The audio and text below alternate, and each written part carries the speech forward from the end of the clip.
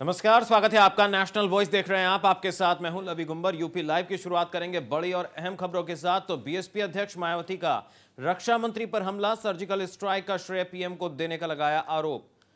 तो आरएसएस और पीएम को श्रेय दे रहे हैं रक्षा मंत्री, आरोप लगाया बसपा अध्यक्ष मायावती ने। सेना के पराक्रम का किया अपमान, मायावती का आरोप। सर्जिकल स्ट्राइक को अंजाम देने पर सेना की प्रशंसा होनी चाहिए। सर्जिकल स्ट्राइक का राजनीतिक फ़ायदा लेना चाहती है सरकार। राजनीतिक लाभ लेना देश हित में नहीं है कहा बसपा अध्यक्ष ने। बसपा सुप्रीमो ने आगे कहा, यूपी में अपनी हालत से परेशान है बीजेपी। दूसरी पार्टियों में तोड़फोड़ कर रही है बीजेपी, सूबे में अपनी हालत से हताश है बीजेपी। तो मायावती ने बीजेपी को घेरने की कोशिश की। आलोक पांडे हमारे संवाददाता लखनऊ से हमारे साथ फ़ोन लाइन से जुड़ चुके हैं। आलोक, हमारे ब्यूरो चीफ हमारे साथ जुड़ चुके हैं। बीएसपी अध्यक्ष मायावती ने एक के बाद एक कई हमले किए हैं। सर्जिकल स्ट्राइक को लेकर सवालों के घेरे में खड़ा किया बीजेपी को। देखिए, बिल्कुल, जो बीएसपी की तरफ़ से प्रेस रिलीज़ आई है, जिसमें मायावती ने साफ़ कहा है कि सर्जिकल स्ट्राइक, जो कि एक सेना की कार्रवाई थी, और इसे सेना को ही, उसके पराक्रम को ही सफलता के रूप में देखना चाहिए था, ना कि पार्टी के लेकर के। और यही वजह है कि जब अगर बात की जाए डिफेंस मिनिस्टर की जिस तरह से सेना के वो उन्होंने पूरी बात कही है मनोहर पर्रिकर ने जिस तरह से पूरी बात पहले प्रधानमंत्री को इसका श्रेय दिया कि पूरा ऑपरेशन सफल बनाया लेकिन अब ये बात कह रहे हैं कि आरएसएस के ही दोनों लोग हैं और यही वजह है कि ये पूरा ऑपरेशन सफल करने में सक्षम हुए। तो मायावती ने सीधा जो अपना आक्रमण है जो उन्होंने निशाना बनाया है वो आरएसएस को बनाया है कि आरएसएस क्या काम करती है किस वजह से वो जानी जाती है सब जानते हैं। आरएसएस का काम कहीं ना कहीं विभाजन के लिए जाना जाता है विघटनकारी संगठन के रूप में जाना जाता है।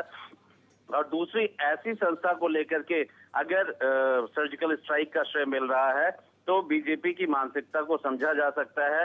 सबसे अहम बात है कि मायावती ने इस बात को भी साफ़ किया है कि न सिर्फ़ बीजेपी अपनी स्थिति को देख रही है कि वो यूपी की राजनीति में यूपी के आने वाले चुनाव में उसकी हालत खराब है और वो खराब हालत को देखते हुए कहीं ना कहीं सर्जिकल स्ट्राइक को भुनाने की कोशिश में लगी है जो कि निंदनीय है क्योंकि जी आलोक ऐसे में समझने वाली बात यह है राजनीतिक पंडितों का क्या कहना है? ये जो स्टेटमेंट आया और लगातार इस तरह के प्रहार मायावती करती रही हैं, चाहे समाजवादी पार्टियों या बीजेपी और सीधे सीधे सर्जिकल स्ट्राइक को लेकर एक बार फिर से उन्होंने ये स्टेटमेंट दिया कि बीजेपी इसका श्रेय लेना चाहती है। प्रधानमंत्री को श्रेय देना जायज़ नहीं है। रक्षा मंत्री ने स्टेटमेंट जो दिया, उसका उन्होंने विरोध किया है। अब ऐसे में क्या इस स्टेटमेंट से यह भी झलक रहा है कि कहीं ना कहीं बीएसपी अध्यक्ष को यह लग रहा है कि आने वाले चुनाव में इसका राजनीतिक लाभ बीजेपी को मिल सकता है, और ये उनके लिए परेशानी का सबब है?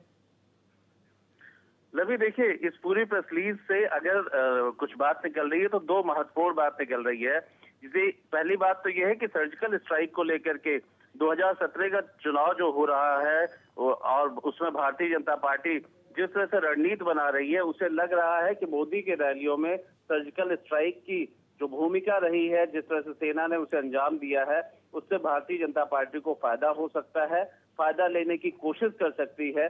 इन सबको देखते हुए बीएसपी ने सीधा सर्जिकल स्ट्राइक पर राजनीति करने के लिए बीजेपी की निंदा की है, खासतौर पर रक्षा मंत्री मनोहर पर्रिकर की निंदा की है और इस बात का भारतीय जनता पार्टी को एहसास भी दिलाने की कोशिश की है कि जोड़ तोड़ के बाद अपनी खस्ता और दयनीय हालत उत्तर प्रदेश में देखते हुए वो कहीं ना कहीं राष्ट्रवाद को लेकर के सर्जिकल स्ट्राइक को भी भुनाने में पीछे नहीं रह रहे हैं। खास बात यही है कि बीएसपी हर मोर्चे पर बीजेपी को बेनकाब करना चाह रही है। अगर, सर्जिकल स्ट्राइक है तो उसको भी लेकर के सेना के पराक्रम की तो तारीफ़ होनी चाहिए। इस बात को तो बीएसपी नेतृत्व तो मानता है। लेकिन अगर किसी नेता को प्रधानमंत्री को और साथ में आरएसएस जैसी संस्था को अगर उसका श्रेय दिया जा रहा है तो वो निंदा का विषय है। बीएसपी कम से कम साफ़ कर रही है कि सर्जिकल स्ट्राइक का कोई भी इम्पैक्ट राजनीतिक रूप से बीजेपी कम यूपी में ना भुना पाए और खास तौर पे आने वाले विधानसभा पाँच राज्यों में होने वाले हैं वहाँ ना भुना पाए।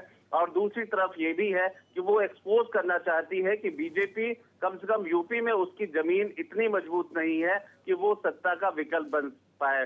तो बीएसपी कुल मिलाकर के चारों तरफ़ से एक लड़ाई लड़ रही है जहाँ रैलियाँ कर रही है वहीं पे कोई भी बयान अगर सर्जिकल स्ट्राइक को लेकर के या यूपी से जुड़ी कोई बयान भारतीय जनता पार्टी या कोई भी दूसरी पार्टियाँ करती हैं तो उसका जवाब वो ज़रूर दे रही हैं। जी। चलिए बहुत शुक्रिया आलोक जी इस तमाम जानकारी के लिए पूरी खबर पर अपडेट देने के लिए। तो ये थे हमारे ब्यूरो चीफ आलोक पांडे लखनऊ से हमारे साथ जुड़े हुए थे इस बड़ी और अहम खबर पर। मायावती ने प्रेस रिलीज़ जारी किया है बाकायदा उन्होंने आरोप लगाया कि बीजेपी श्रेय लेना चाहती है सर्जिकल स्ट्राइक का राजनीतिक लाभ लेने की मंशा से अ, रक्षा मंत्री मनोहर पारिकर ने प्रधानमंत्री मोदी को इसका श्रेय दिया है, जो कि गलत है। सेना ने सर्जिकल स्ट्राइक की है और सेना को इसका श्रेय मिलना चाहिए यह कहा बसपा चीफ मायावती ने।